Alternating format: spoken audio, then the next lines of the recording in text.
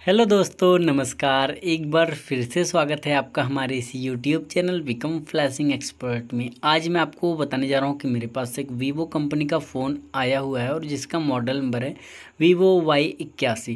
तो दोस्तों, ये है मेरे पास वीवो का वाई एट्टी वन मॉडल और इस फ़ोन में लगा हुआ है एफ़ लॉग आज की इस वीडियो में हम सीखेंगे कि आप वीवो वाई एट्टी वन या फिर वाई इक्यासी का एफ़ आर पी लॉग कैसे बाईपास कर सकते हैं बिना किसी कंप्यूटर के, बिना किसी बॉक्स के, बिना किसी डोंगल के, घर बैठे ही, बिना किसी अनलॉक टूल के स्टेप बाय स्टेप तरीके से वीडियो को पूरा देखेगा। आपको मैं दिखाना चाहूँगा कि इस फ़ोन में एफ़ आर पी लॉक लगा भी है या नहीं। तो चलिए मैं आपको दिखाता हूँ दोस्तों नेक्स्ट नेक्स्ट करते हुए चले जाते हैं। स्किप बटन पर क्लिक कर देते हैं, यहाँ पर नेक्स्ट बटन पर क्लिक कर देते हैं। सिंपली स्किप बटन पर जैसे यहाँ पर यूज़ नाउ पर क्लिक करते तो आपको ऑप्शन दिखेगा। Not sign in. तो दोस्तों, इस तरीके का अगर आपको एरर शो होता है तो आपको क्या करना है?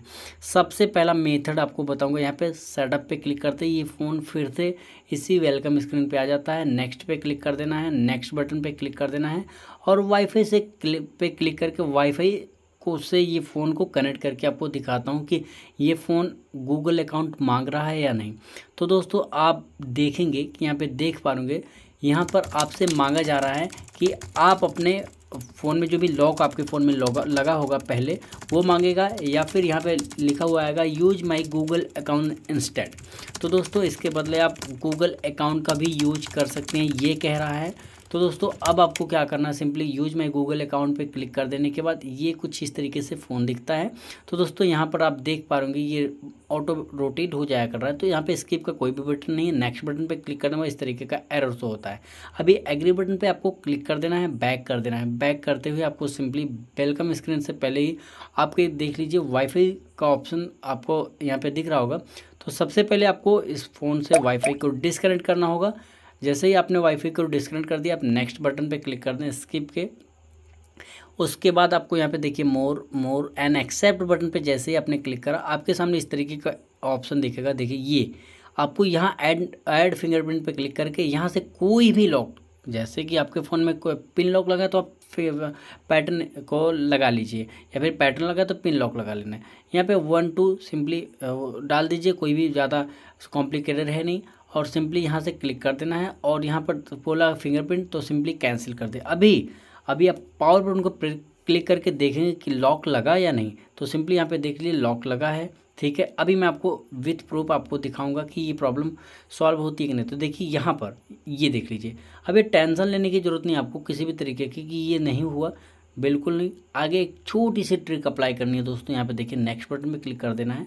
और यहाँ पे इस वाईफाई वाले ऑप्शन में आने के बाद फिर से फिर से आपको वाईफाई से फ़ोन को कनेक्ट करना ही होगा।